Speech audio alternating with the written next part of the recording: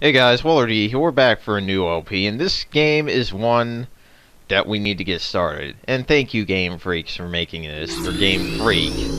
Because you made a wonderful game, at least in my opinion, and brought me back to this thing called Pokemon again.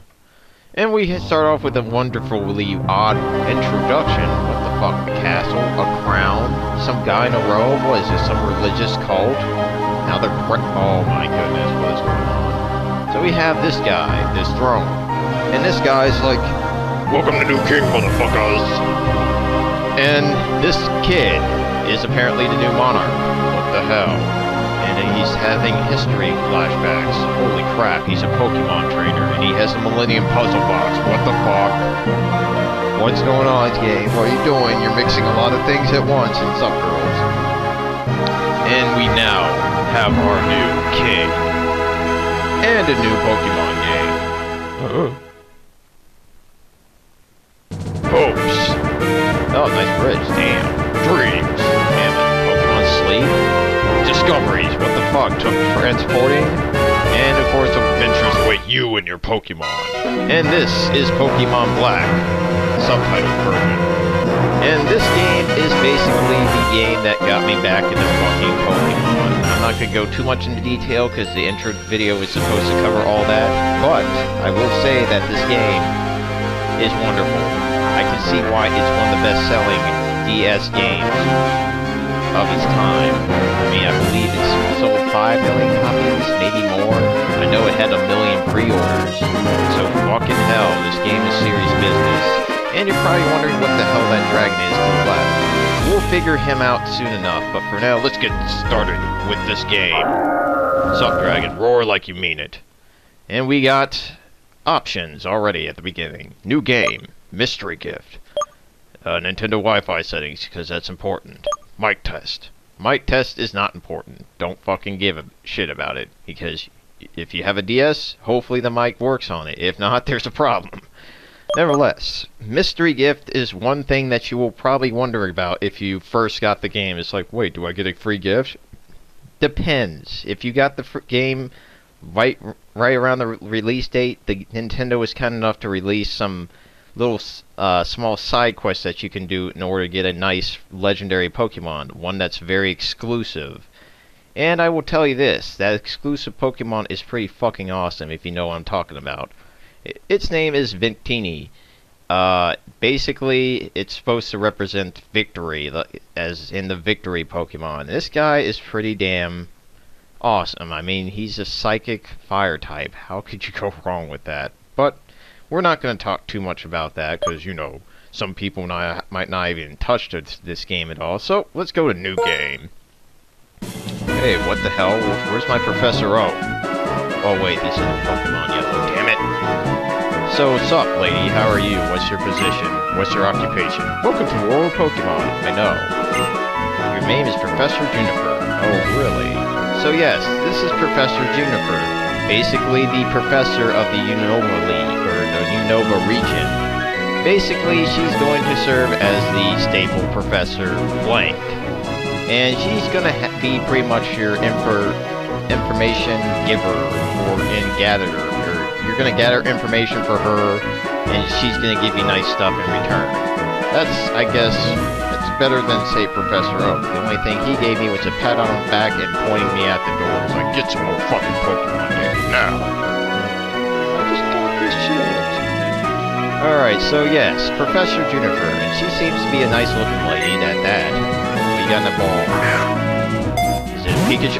Whoa, no it's not. What the hell is that? Is that supposed to be some sort of Pikachu hybrid? Holy god, they're crossbreeding? No, that's going to be some Pokemon we're going to learn about in this new region. Because, here's the thing about this new region. They freaking made 150 po new Pokemon for this region alone. That's telling you something. It's like, oh shit, that means I have to kind of play out the game all over again. That's right. That's what the game's trying to do again. So yes, she's going to explain how the world is inhabited by these mysterious creatures that we've known about for the past four generations, called Pokemon. Pokemon have mysterious powers that come in many shapes and live in many different places, just like people. They, we humans live happily with Pokemon, except when the time when they jump, you and accidentally step in a bush and they jump out and try to kill you. That's where you have your own Pokemon to battle with that Pokemon, beat the shit out of him, capture the ball, and parade him around like you did shit. That's pretty much the Pokemon way. So apparently Pokemon are happily living with people, and working with one another, and complimenting each other. I wish I could hear what my Pikachu's telling me. Yo, yo, yo, you suck, Pikachu. Aw, that's so cute. So yes, we help out each other to accomplish different tasks. Having Pokemon battle one another is particularly popular and it deepens the bond between people and Pokemon. Yes, I'm pretty sure that uh, using Pokemon as a means of gambling and all that good stuff is fun too. No, not really, but basically there's Pokemon battles, and that's basically the main premise of Pokemon, the Pokemon games, where you basically go around beating the, shit out of other people's Pokemon with your own, taking their money, and saying, I'm the boss, you step down. So yeah, that's pretty much the idea. And of course this guy, little guy is just waving to us the whole time and saying, there's nothing going to be horribly wrong in this game for you at all. So yes, let's get started. And that's why you research Pokemon. So wait, you research Pokemon so because people battle the crap out of each other and they're all different? Well, I guess that's a good job to have considering that I mean you'll never get boring at all and you would probably get a lot of money since you'd be like, here's the encyclopedia of Pokemon. Like, damn, I'll buy the shit out of that. So yes, Juniper has a good occupation. But that's enough about her, damn it. Can I tell about myself or the main character? Yes, we can talk about the main character. Let's see. Wait, what? Boy or girl? You're asking the main character this? Okay, so we have this guy and we have this girl. These people have their names, and they're pretty much the same character. They both have brown hair, in a sense, but they have different clothing. One has shorts, one has stylish pants. We're gonna go with the guy with stylish pants, because he looks like he's he's got a good head on his shoulders. You're a boy, right? Oh, you're asking the boy this. Yes, I'm a fucking man. And of course he said yes. I'd like to know your name. Okay, let's. What's this guy's name? Well, we have a number of choices that we can go with, and I'm not going to name this guy myself, because I don't want to freak myself out when I fight another waddler, and it's like, what the fuck just happened? So yes, we're going to name this guy the generic, or the, the expected name of this character. We're going to name this guy Hilbert, and we're going to call him Bert for short, or Hill, we can just call him Hilp, I don't know. Just some, we're just gonna call this guy Hilbert because that's technically the character's name. And we're going to, to go with that as certain. And my name is, your name is Hilbert? Uh, yeah. Your name's Hil so your name's Hilbert. What a wonderful name. Uh, I don't know, lady. Hilbert doesn't sound right in my, in my head. But we'll go with it because, I mean, this guy seems pretty cool. And wait, you're gonna introduce Hilbert to your his two best friends? What? Uh, okay. You think Hilbert would know his two best friends. Okay, this guy is... This man is Cheren. And this guy looks like he's going to be a know-it-all douchebag, possibly. I don't know. Just from the tie and the glasses and the expression of I'm thinking very hard, it just makes me think he's not going to be the most pleasant guy to be around. Let's see if the game's what the game says. Oh, I see what you're trying to do. He can, he can be a little, diff little difficult, but he is a very honest person. So that means he'll be very critical, but you'll love him anyway. Awesome. And this young woman is Bianca. Bianca. Wait, what? Why are they calling her young woman? What about young man with the freaking boy or girl question? Hmm. So yes, this is Bianca. And she's a little flighty, but she works very hard, so she's ditzy but determined. I like that. Hopefully. Hopefully her ditziness is not too bad. And of course, they don't tell a damn thing about Hilbert. It's like, yeah, we don't know a damn thing about you other than that your name is Hilbert. Awesome. I think you three have potential, so I'm going to give you a very, very important Pokemon. Oh, I wonder what it is. Hilbert, the moment you choose your Pokemon that will accompany you on your journey, your story will truly begin. During your journey, we'll meet many people Pokemon and people with different personalities and points of view. So is that respectively or both ways? Like, you know, I doubt Pokemon have points of views exactly. Say beat, maim, kill, destroy, murder, vanquish, knock out, faint, sleep. Okay. So yes, I really hope that you find what is important to you all these travels. Yes, I hope I find the end of the game. That's right, befriend new Pokemon and people in Pokemon and grow as a person. Oh, really? That is the most important goal of your journey. Oh, okay, I'll take that. Yes, please get me started. So yes, guys. Wait, Autumn, what? Okay, that's new. So yes, Game Freak presents... Oh god. Good music. Pokemon Black version. Wait, what are you doing? You're infiltrating that house? You didn't knock? Okay, Juniper, don't be sneaking around stealing people's stuff. Oh wait, what the hell? Hilbert! I heard from Professor Juniper we can have a Pokemon? Yeah. What's inside the... I guess that's what's inside the box. What's keeping Bianca? Uh, remember, ditzy, but determined. She's, she'll be here, don't worry. See, look. What the fuck? Am I a little late again? Sorry. Oh, don't even be starting that sorry crap. Keep that board game in another, in another shelf, damn it. Bianca. I've known for 10 years that you have no sense of time, but seriously, today's the day we get a Pokemon from Professor Juniper. Yes, that means you guys need to both be next to me. I no, sorry Hilbert, sorry Cheren. Yeah, you better be sorry. You don't, you're starting to piss me off, Bianca. I mean, Ditzy is fine, but Super Ditzy is like, no. Just, just don't trip over all my stuff and break my Wii. So where are the Pokemon? Oh, that's a good question. You see that box with blue and green on it? Yeah. They were delivered to Hilbert's house, so Hil Hilbert gets first pick. Naturally. Oh boy.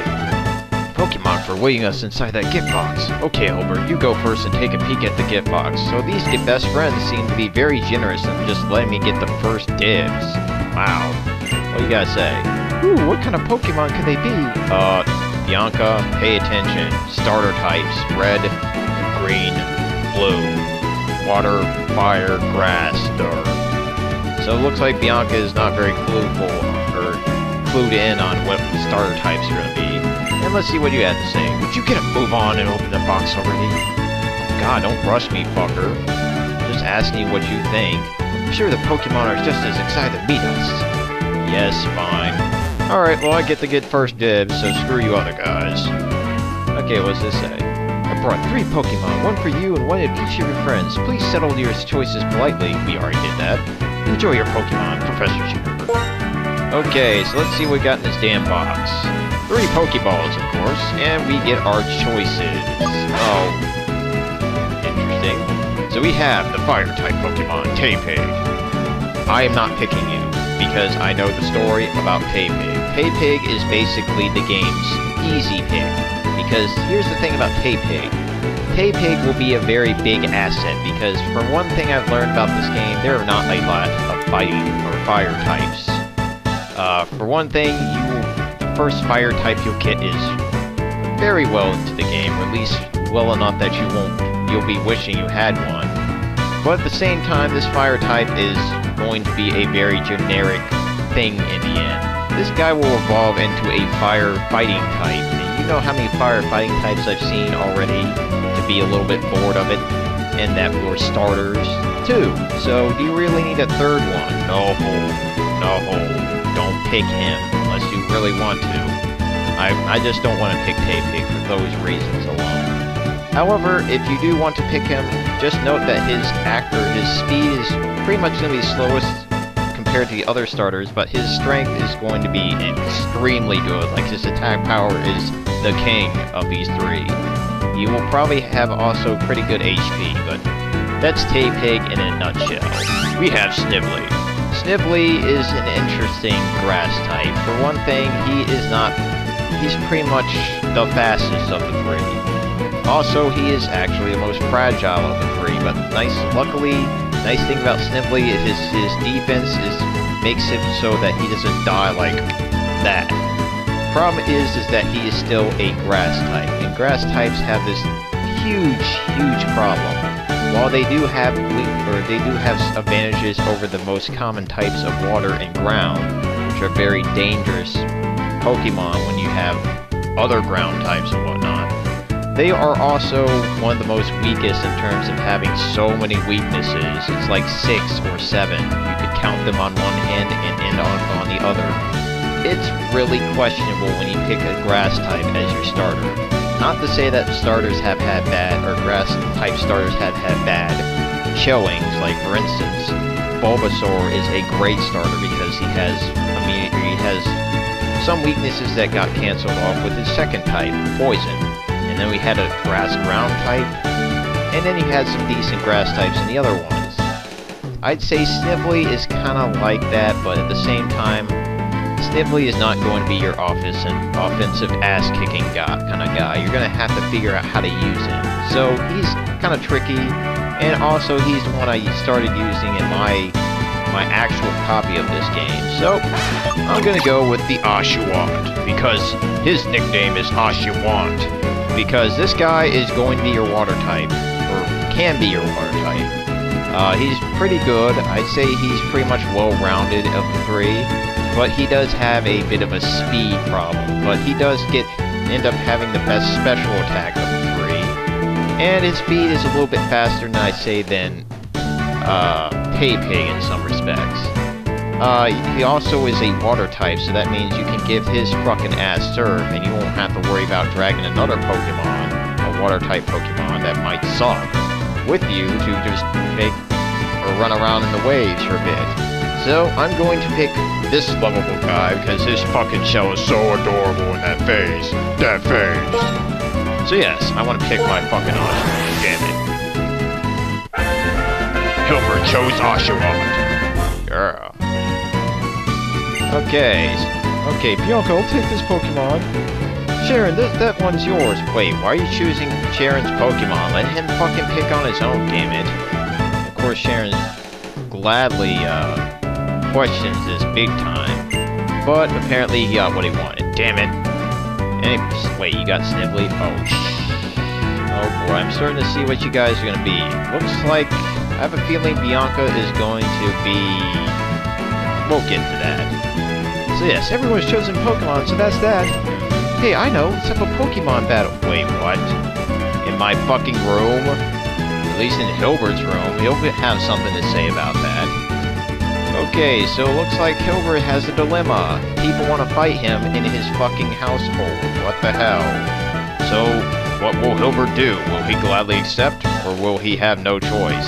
So, next time, guys, the, the quest begins with Hilbert battling his friend. So thanks for watching, have a great day, and adios.